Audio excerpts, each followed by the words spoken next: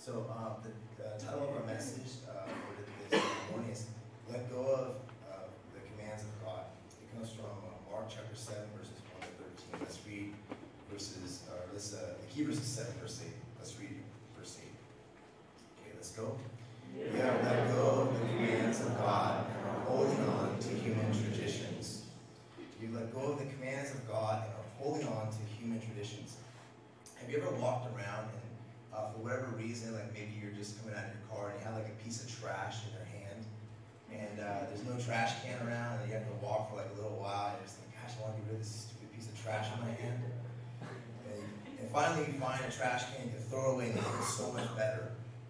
And then have you ever had a time where uh, you had something very precious? You know, one time when I was getting married, I was carrying around uh, the engagement ring uh, of my wife Sarah, and I hadn't, I hadn't given it to her yet. And I was like, I held in my hand so tight that like my was starting to sweat really bad. I didn't want to want to hold on to that because that was a symbol of uh, my marriage want to hold on to that so tight.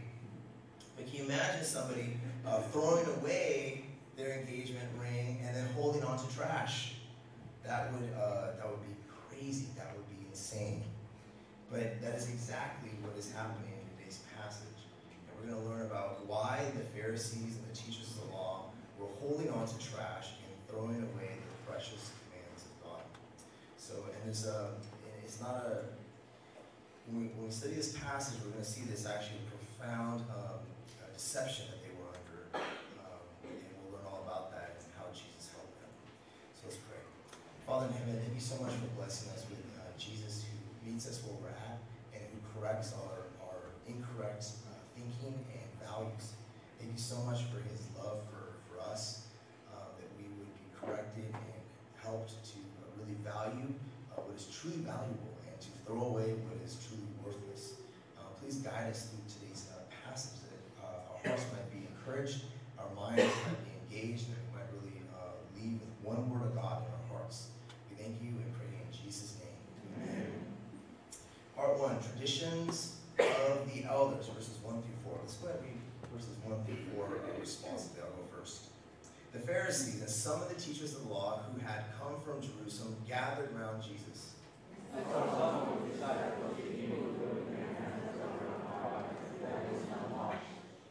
Pharisees and all the Jews do not eat unless they give their hands a ceremonial washing, holding to the traditions of the elders.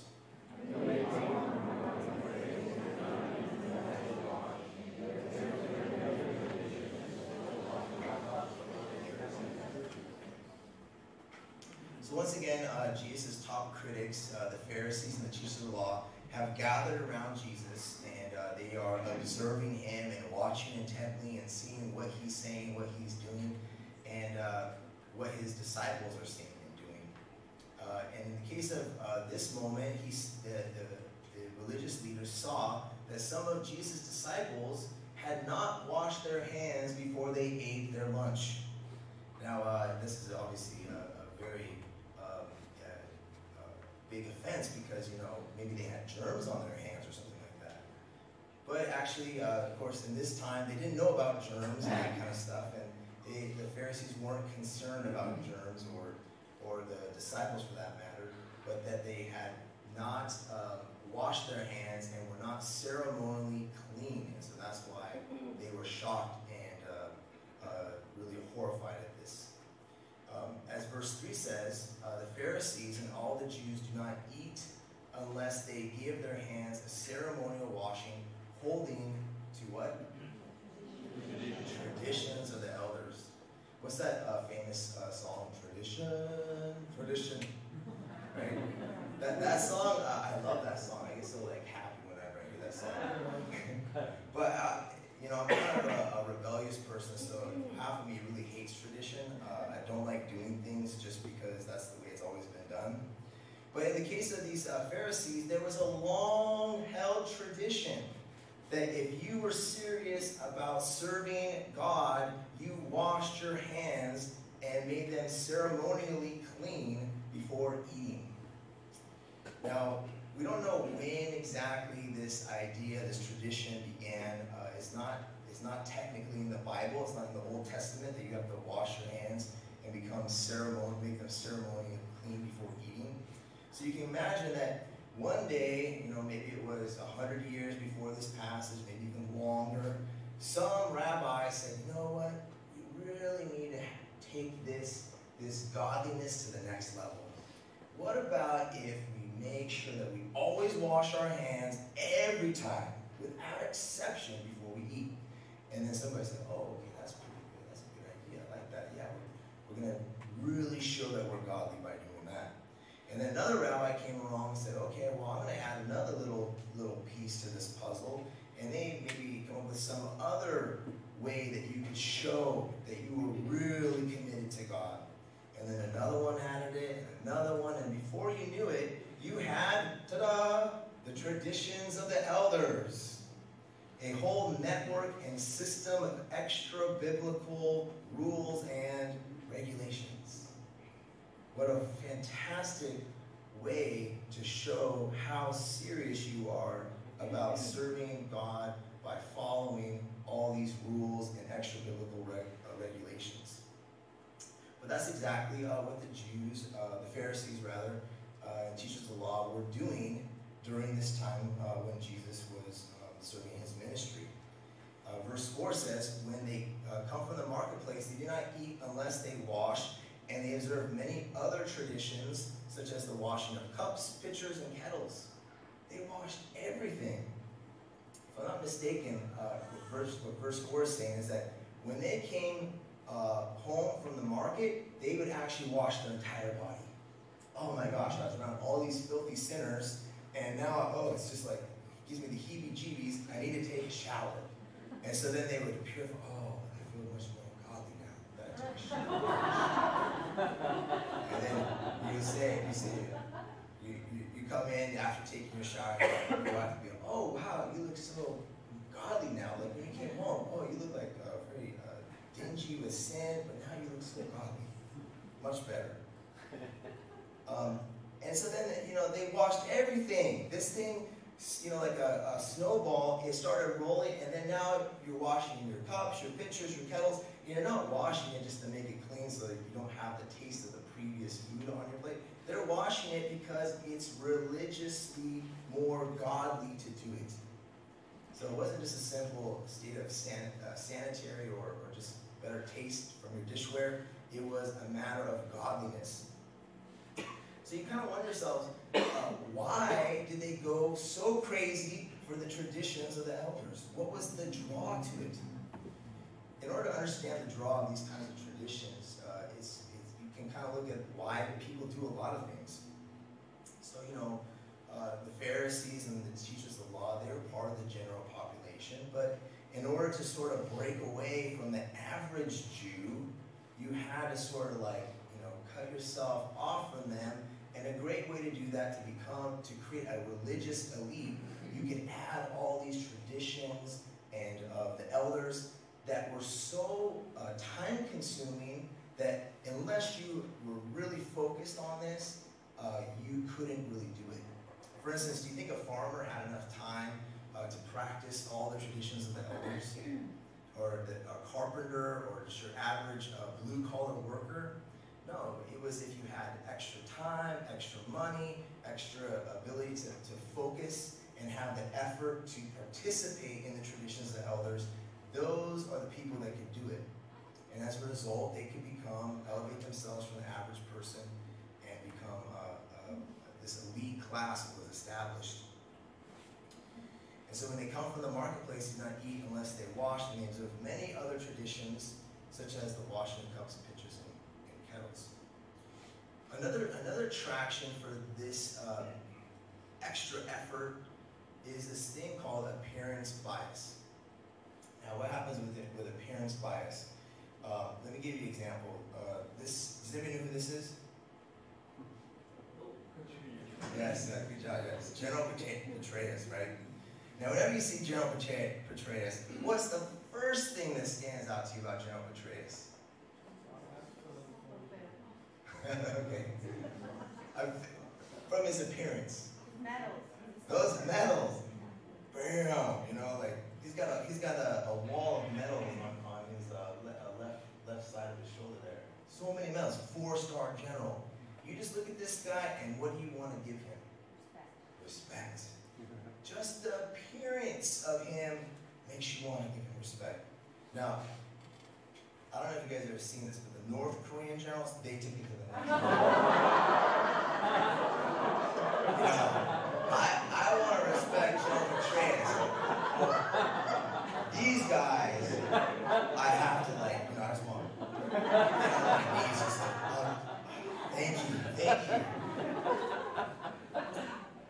Uh, likewise, likewise, you know, if you want to be, if you want to, say you're, you're, you're, you really want to have a wise look. Let's say you're a man and you want to look like you're very wise. What should you do? Right?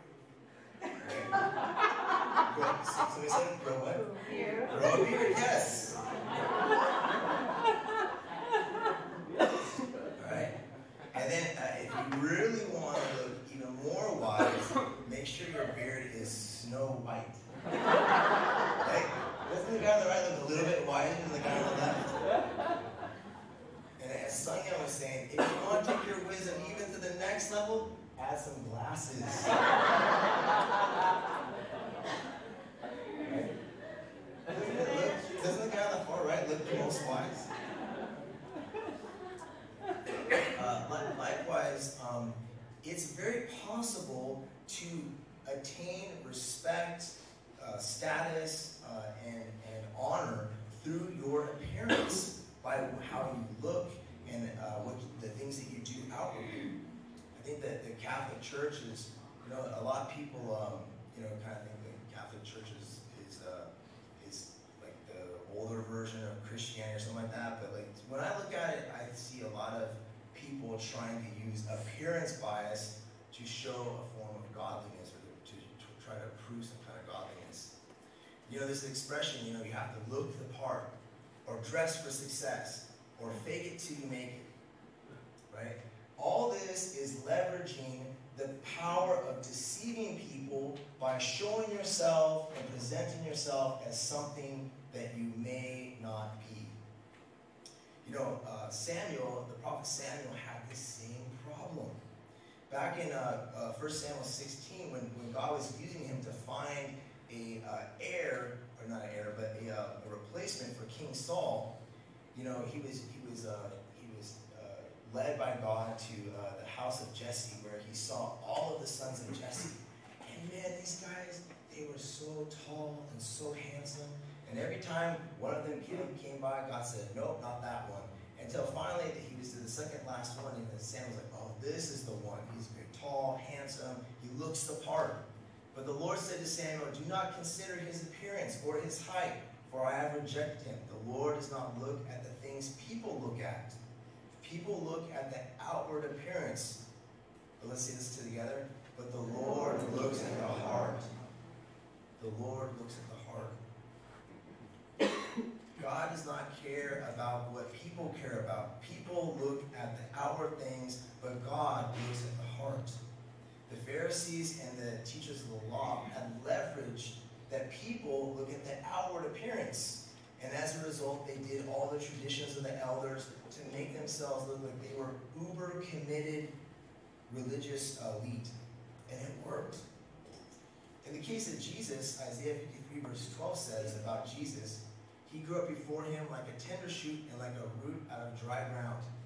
Uh, he, being Jesus, he had no beauty or majesty, majesty to attract us to him, nothing in his appearance that we should desire him. In the case of our Lord, he did not leverage um, appearance bias to gain um, respect or influence over those uh, who he served. In fact, he had nothing in his appearance that would make people uh, attracted to him and desire to listen to him for the, the fact of his authority, his look of authority. But let's go back to the passage. So we see that in these first four verses, the Pharisees were fully bought into this idea of looking and acting a certain way, and they, they had so internalized it that they expected others to be the same way. Let's look at uh, uh, part two. Hearts are far from me, verses 5 to 8. Let's read verses uh, 5 to 8 responsibly. to the go first. So the Pharisees and the teachers of the law asked Jesus, Why don't your disciples live according to the traditions of the elders instead of eating their food with defiled hands?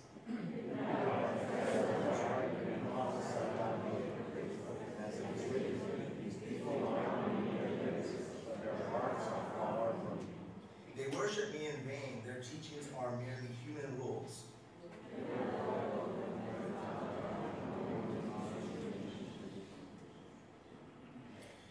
Um, speaking of, of elite eliteness, um, does it, what is what sport is known? It's not not everybody who does it is elite, but what sport is known to be the most elitist? Somebody, somebody just said it. Polo. polo. Actually, that, that might be the most actually polo. I was thinking of golf, right? Golf, golf is like certain kind of like uh, uh, prestige to it, and I think these days more average people, uh, you know, play it without being concerned about how they look or looking the part. But so I did a little Google search, and then how, I, I said, how can you tell if there's a tell who's a serious golfer? And bam, that article popped up right away. And so here's 10 signs of a serious golfer. Okay, the name on their bag, right? If you don't have your name on your bag, you're not a serious golfer. You better walk the golf course uh, versus ride. If you're riding in the cart, not really a serious golfer. Uh, they use a divot tool and fix ball marks. I that makes sense. Or that's just common courtesy. Uh, the towel in their bag hangs on the clubs, and they do not use a clip towel. It's like clip towel is like a clip-on tie. If you're a serious golfer, you don't use it. You have to tuck in your shirt. Uh, you always wear pants. Uh, you only carry one sleeve of balls in your bag. That means basically three balls. Any serious golfer is, is so uh, committed that you only need three balls to get through 18 holes of golf. Um, use a sandbag over a cart bag, stand bag over a cart bag. Uh, remember other players' names. Like if you forget other players' names, then, then you're not a real golfer. And this last one's uh, funny. You pick up the tee before the ball lands. And if you know that means, like, so when you go, your, your first shot of the, of, the, of the hole, you know, you hit the ball, and you don't even look at the ball where it's gonna land. You pick up your tee that you just picked up, and then, you know what I'm saying? Like, you don't even care. You, you know it's such a good shot that it's gonna land right in the middle of the fairway, so you pick up the thing without even looking. It's kind of like having like a no-look one shot, you know? So those are, those are like the serious golfers. So for the Pharisees, look at verse 5. Why don't your disciples live according to the traditions of the elders instead of eating their food with defiled hands? To the Pharisees, no serious religious person did not follow the traditions of the elders. Of course, Jesus' ministry, his disciples, it had the good reputation that it was a serious work of God. But to them, no serious religious person did not follow the tradition of the elders. It was shocking to them. Why did these disciples not follow the, the rule to wash your hands before eating? They're eating with defiled hands. It was they were very elite and using a standard uh, that made sense to them, but it was not what the disciples were, were following. So Jesus stood up for his disciples. Look at verse 6. He replied, Isaiah was right when he prophesied about you, hypocrites. As it is written, these people honor me with their lips, but their hearts are far from me. They worship me in vain. Their teachings are merely human rules. Here Jesus really uh, cracked open the, the issue, which is that the Pharisees and the teachers of the law were what? He, what did he call them? It starts with an H. Hypocrites, that's right. They were hypocrites. They outwardly presented themselves as religious, but inwardly they were completely ungodly. They honored God with their lips, they said all the right things, they presented themselves as godly, but their hearts inside were far from God. They didn't know God's ways, nor did they internalize God's um, God's love uh, for for others and, and for Him. So they they really were far from the mark. They uh, looked good on the outside, but inside they were full of evil. And as a result, Jesus said, "They worship me in vain. Their teachings are merely human rules." He's actually quoting Isaiah here, but the point is, is that they thought that they were doing such a good job, but actually they were completely rejected by God. And then he, he really kind of uh, caps it off here. You have let go of the commands of God and are holding on to human traditions. They had let go of the commands of God and were holding on to human traditions. Why was this such a, a, a terrible uh, reality for the, the Pharisees and teachers of the law? The problem is, is that the commands of God were the very thing that could help them have a heart that God could, um, that God, that would be pleasing to God. The commands of God, uh, for instance, like, uh, uh, do not covet, right? The Pharisees and teachers of law, they probably had a, a really hard time with coveting. But the commands uh, God says to not covet. You know, if you really uh, think about the commands of God, like uh, coveting, it isn't just something that you shouldn't do. It really, as you think about it and meditate on it, you learn why God doesn't want us to covet. God doesn't want us to covet because to covet is to is to want something that God hasn't provided or, or given you. It means like you're not you're acting uncontent. God is giving us everything that we need in our lives. He's fully provided for us. But when we covet after what other people have, it's kind of, we're signaling that God has not fulfilled us, and that God has not provided for us in a rich way that is satisfactory, that we need something else that God didn't give us. So to, that, that's, uh, that's one of many reasons just why coveting is a command that we're uh, not supposed to, uh, to engage in. Course, lying is another one. To lie is to live in the darkness is to live in deception and to, to trick another person or to, to pull the wool over their eyes.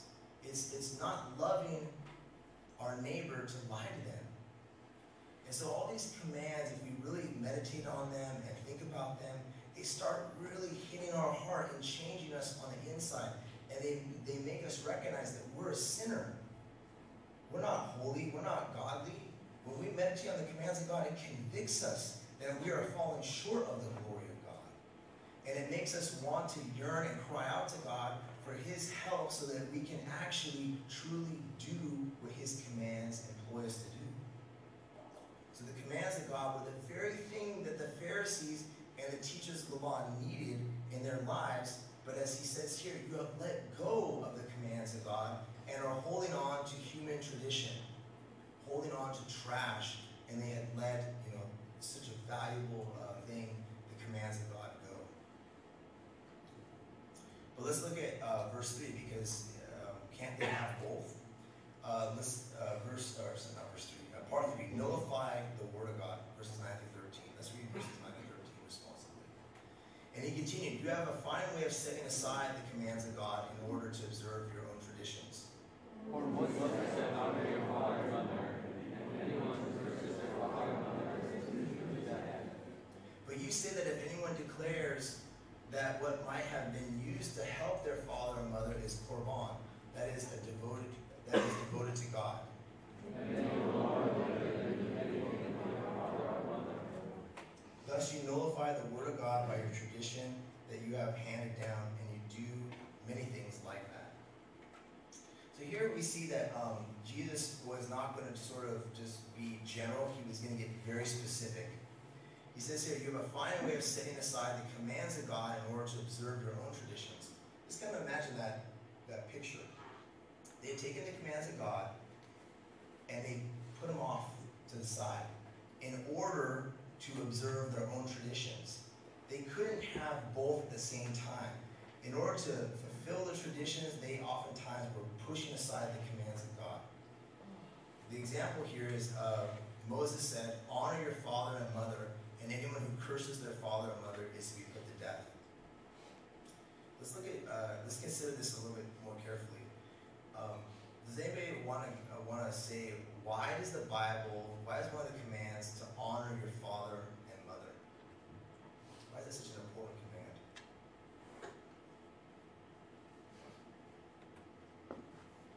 Maybe long life. Long life. Troy, It lines up with honoring God. Lines up with honoring God. Yeah, that's right. Anyone else? Foundation of society or family. Yes. Order. Robert.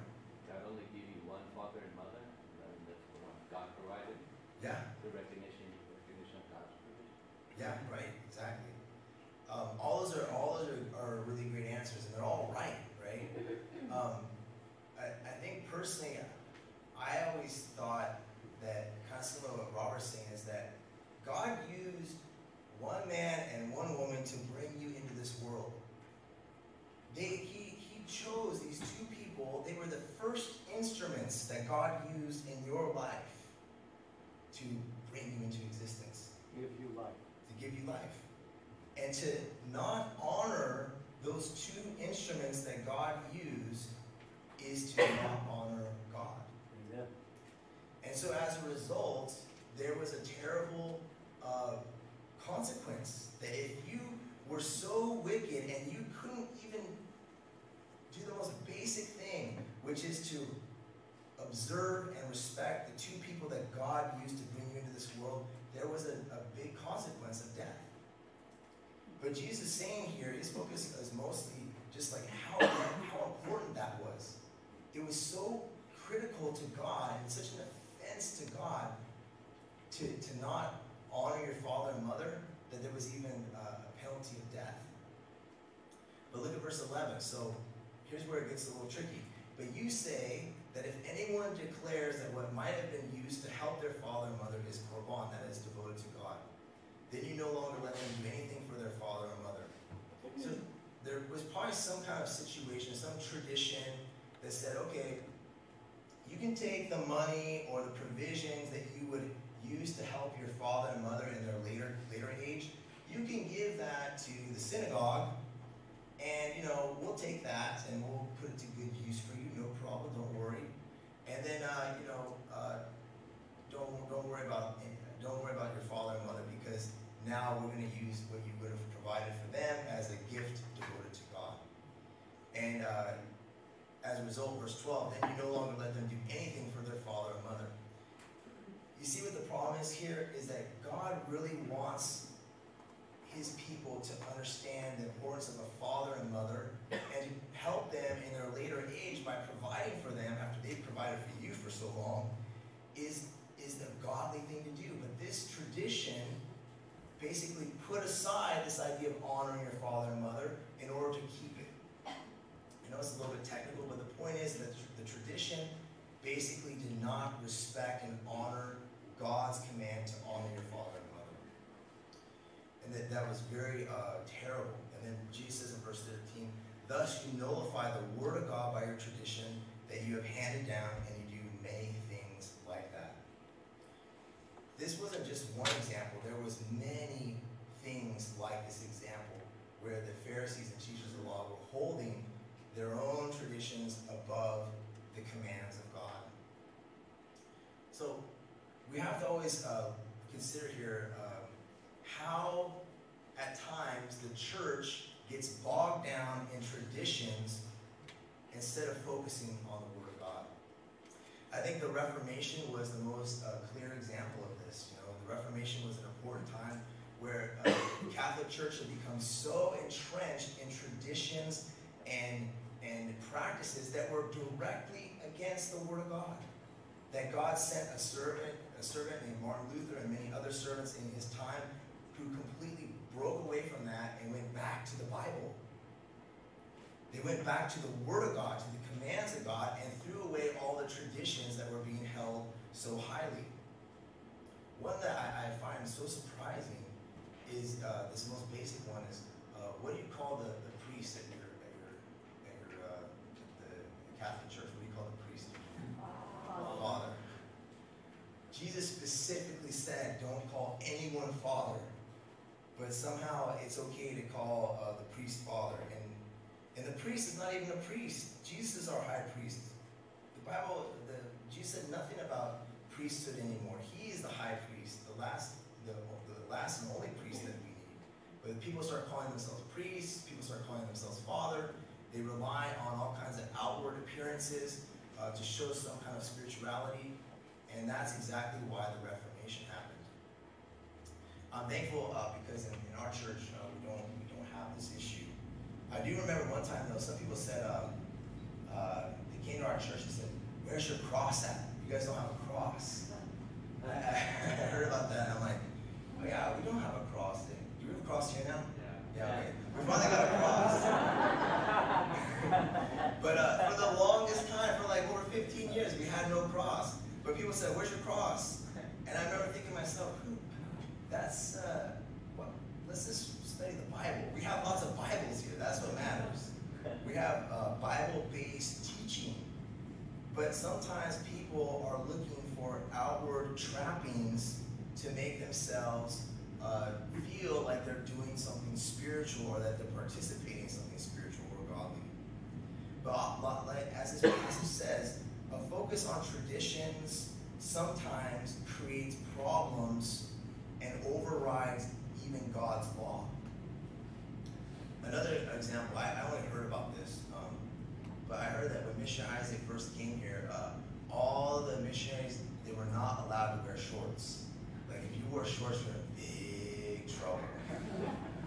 but I think what he prayed about, it, he realized that that's just some kind of, you know, tradition, and this is Southern California.